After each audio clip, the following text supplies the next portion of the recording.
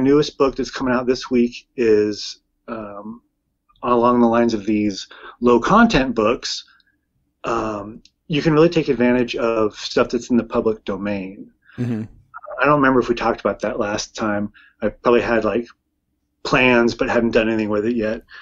But you can um, go onto sites where they'll have like a list and maybe even like some PDFs or something of books that are in the public domain, mm-hmm. like uh, Frankenstein, you know, or or uh, I don't know, what was it like some of the psychologists and or like um, Frank Kafka, you know, these kind of any author that's been around, Oscar Wilde, obviously, you know, you could do like let's say Oscar Wilde, you do like a portrait of Dorian Gray, mm-hmm. and you make your own cover, and then Amazon wants you to add like very specific stuff, like at least 10 new illustrations within the book, um, some kind of editing or changing of, you know, to make it your version. So you're not just taking a PDF and, and putting a new cover on it. Right. But it's not, still a lot of work. Um, so that's one thing that I'm thinking of doing is making like covers and my own versions of these these kind of old horror stories. But this time I found um, public domain comic books, horror comics. Hmm um, they're old enough and the copyrights have expired. They're like, you know, from these defunct horror comic publishers that were like pre code era 50s. Yeah. And as long as you don't use like trademarked words, like I wouldn't call it like creep show or you know what I mean, Tales from the Crypt, these kind of things that I'm right. sure are trademarked.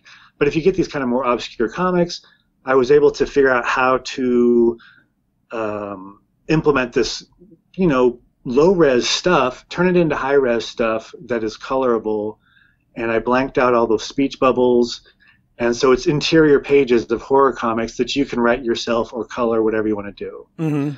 And that took uh, about six weeks to make a hundred page book. So you're working on this now, or you've actually already published it? Because I don't recall seeing that. No, it's uh, I just announced it a couple days ago on Instagram. It's been on okay. my little secret project, so it's going to come out um, probably be uploading it this afternoon or tomorrow, and then it'll, you know, once Amazon makes it live, it'll be a couple days later. Yeah. No, it's called the Vintage Horror Adult Coloring Book. I love it. And you've already got a couple of other adult horror coloring books, right? Yeah, there was Monster Funk. Uh, that was the first coloring book, and that was all my illustrations, and it was all probably too high concept looking back at it now. It was like I wanted it to be funny, and I wrote stuff for it, and it was all uh, on the premise of you never get to hear about how the monsters smell. Right. In a movie, you know, or books. There's no smells, but you would think that a monster would smell pretty bad.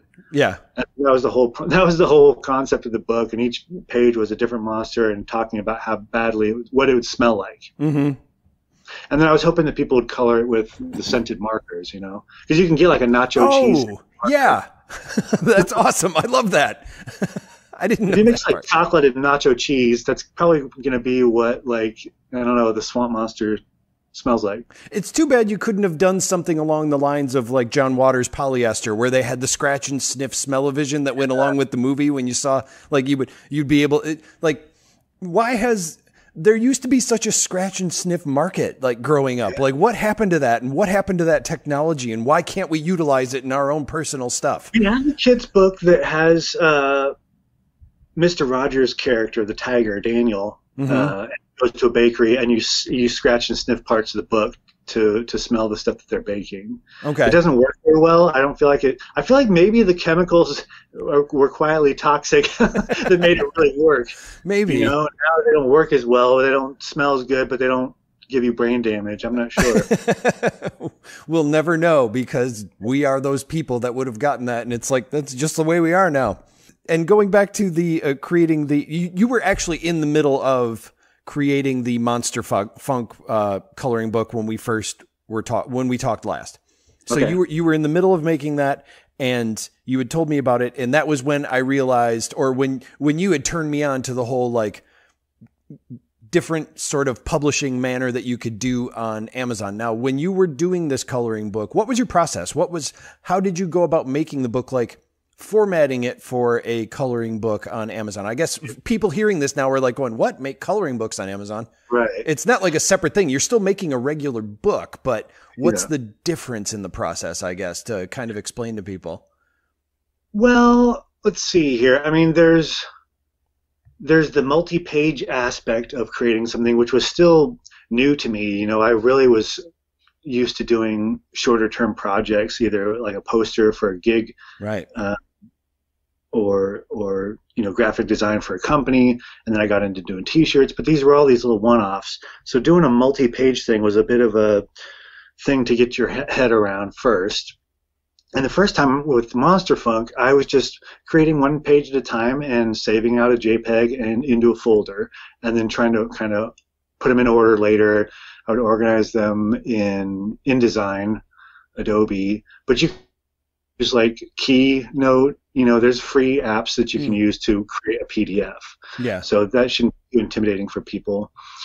Um, but with this last book that we'll have to get into later, mm-hmm. uh, I've been using Clip Studio, and they have like their highest tier version of the of Clip Studio. It's called EX, and I figured out, oh, they let you make a multi-page book um, oh. where you set it all up, how many pages it's going to be, whatever, and then you get to kind of look at all of it, almost like um, I think what is the app that Adobe has? I always am sad that I accidentally open it because I never use Adobe's. Uh, lets you look at all your images more easily. Oh, like the Bridge one or whatever, or Light. Bridge. Yeah, I think like Bridge, where you're looking at all the files mm-hmm. that are associated with your book, and then you you double click on whatever you want to work on, and it brings up that page, and you work on it, and it automatically you I guess you'd hit save and it would save everything associated with that book every time you hit save. Is that what that so does? one page or another, right? Okay.